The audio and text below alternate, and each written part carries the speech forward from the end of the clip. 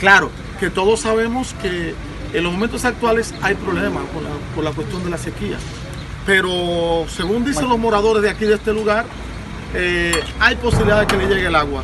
Solamente hay problemas por la situación de las autoridades, la indolencia de las autoridades, que el dinero para conectar de otros sitios, eh, como siempre, lo han desviado, se lo han robado y pues por lo tanto hoy la gente aquí de Guanábano no tiene más camino que salir a la calle porque eh, las autoridades en este caso no lo han respondido.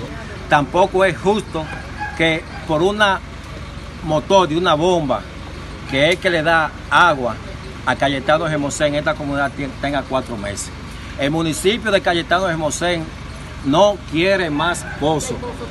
Lo que quiere el municipio de Cayetano Gemosén es que se conecte el acueducto del municipio de Cayetano Gemosén con el acueducto de Salcedo, para que todos los días este municipio, municipio, que es un municipio productivo, pueda tener agua 24 horas. Así no se puede, señor Martínez. Este municipio, como dije, produce más del 60% del sector avícola y no es justo que se mantenga sin una gota de agua hace cuatro meses.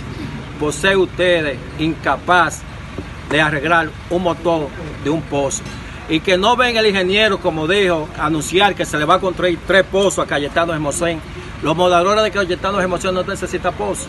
Los moradores de Cayetano Gemosén lo que necesitan un acueducto con agua limpia y no agua de un pozo que solo trae dengue y enfermedades a este mundo. Ahora, dentro de lo que cabe un problema en la Guama, que el agua llega a la cantarilla abajo, y dan las 12 y las 2 de la mañana que tú te tienes que bajar abajo para cogerla. Una producción de NJ Productora.